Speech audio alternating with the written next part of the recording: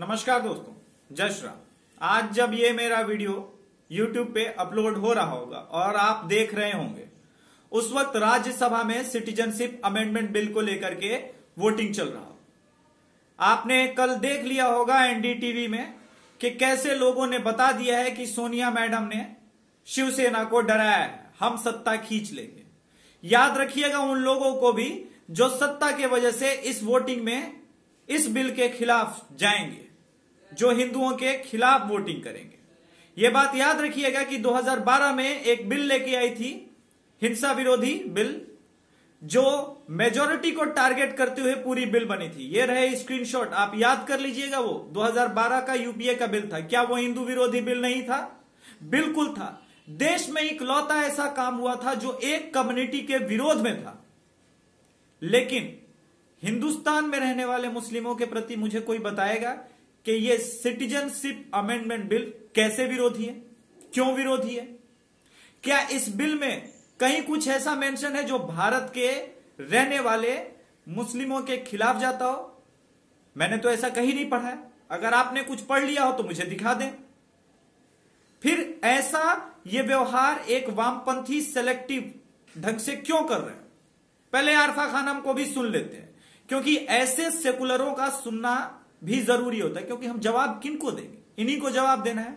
आपको ये पथ भ्रष्ट कर रहे हैं। आपको जानबूझ करके ये इमोशनली ब्लैकमेल करने की कोशिश करते हैं अपनी रुदालियों के द्वारा। इनके झांसे में ना आए। अक्सर हमने देखा होगा कि आबादी को लेकर, आबादी पॉपुलेशन एक्सप्लोजन को लेकर अक्सर संघ और भाजपा के लोग राजनीति करते हैं। लेकिन अगर भारत की आबादी इतनी ज़्यादा है और वाकई इस बात की चिंता है तो क्यों इस आबादी को और बढ़ाने की फिराक में लगी हुई है भाजपा? जो भारत का संविधान है, दरअसल वो रेफ्यूजीज को भी, जितना अपने नागरिकों को कहता है, इतना ही वो जो बाहर से आए हुए शरणार्थी हैं, उनके लिए भी जो राइट टू इक्वालिटी है, यानी समानता का जो अधिकार है, वो आर्टिकल चौदह में भारत के संविधान में मौजूद है। राइट टू लिबर्टी भी दरअसल जो नॉन सिटीजन है जो नागरिक नहीं है भारत के जो शरणार्थी हैं उनको भी मिलता है आर्टिकल इक्यावन के तहत। तो क्या ये वाकई भारत का जो ये इरादा है इन लोगों को वापस भेजने का रोते बिलकते बच्चे मासूम वो लोग जिनके लिए शायद दुनिया में कहीं और जाने के लिए जगह नहीं है जिनको कहा जाता है no wears people no buddies people वो कहीं के नहीं है वो किसी के नहीं है। क्या उनको वापस भेजने के, के मद्देनजर क्या भारत जो अंतर्राष्ट्रीय कानून है या जो अपना संविधान है उन दोनों की अवहेलना कर रहा अब मेरी बात एक मानिए। मैं आपसे फिर कह रहा हूँ, ये एनडीटीवी आपको बर्बाद कर देगा। दवायर और अभिशार शर्मा को सुन सुन के आप पूरी तरह से सेकुलर बन जाएँगे और ये सेकुलर फिर शिवसेना बनेगी। आप शिवसैनिक की तरह सेकुलर मत बनिए। अंत में आप सनातन धर्म के लिए ही हानिकारक साबित होंगे, इसलिए अपने आप को बचाएँ और पाउस मोड में खुद को डालें, रुके और ठहरे और सोचे। सिटीजनशिप अमेंडमेंट बिल है किसके लिए? उन सिखों के लिए जो इस देश में माइनॉरिटी हैं, जो पाकिस्तान में भी माइनॉरिटी और बांग्लादेश में भी माइनॉरिटी हैं। उन ईसाई के लिए जो भले कन्वर्ट कर दिए गए हो, मगर पाकिस्तान में भी माइनॉरिटी में है, बांग्लादेश में भी और अफ़गानिस्तान में भी। पारसी, हिंदू। लेकिन क्या इन तीन देशों में मुस्लिम माइनॉरिटी में है?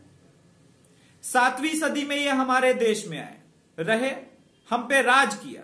और जब इनको लगा कि इनका राजपाट चला जाएगा तो इन्होंने दो देश बना लिए।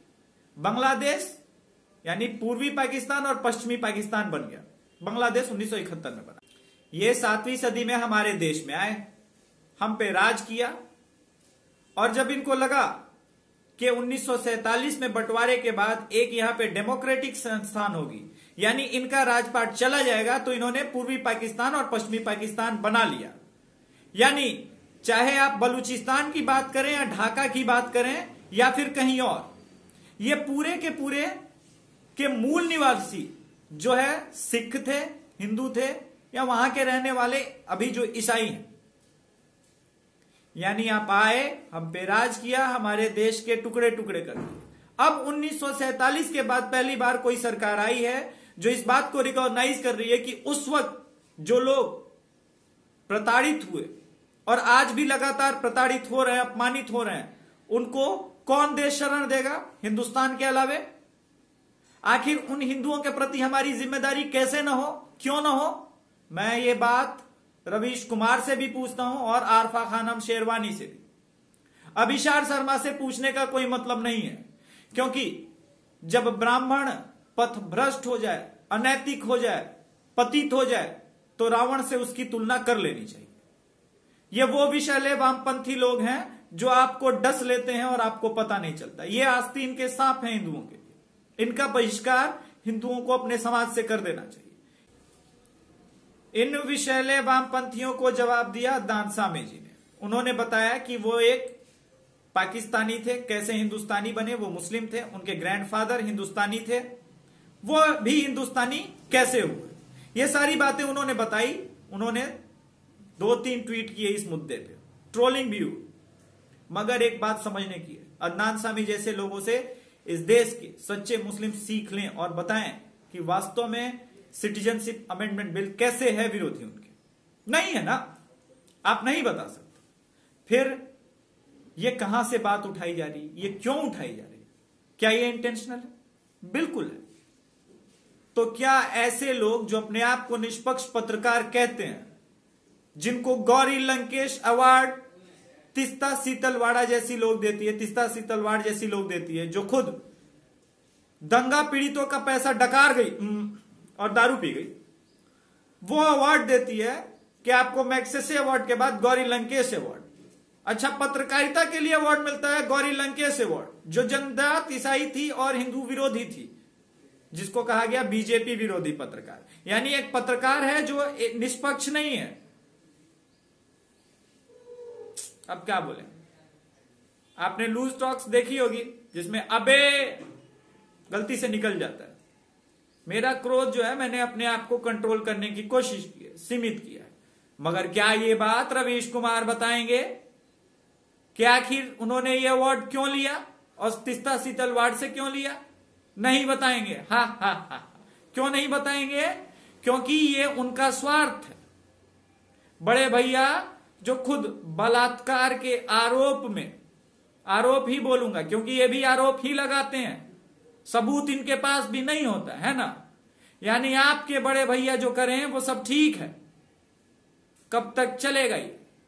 क्या कोई इस देश में मेरे अलावे सवाल नहीं पूछेगा? मैं तो पूछूँगा। क्योंकि मैं नहीं डरता हूँ किसी से भी। आज जब सिटीजनशिप अमेंडमेंट बिल को लेकर के राज्यसभा में वोटिंग हो रही होगी तो मेरी नज़रें उन लोगों पे होंगी जो इस बिल के खिलाफ वोटिंग करेंगे।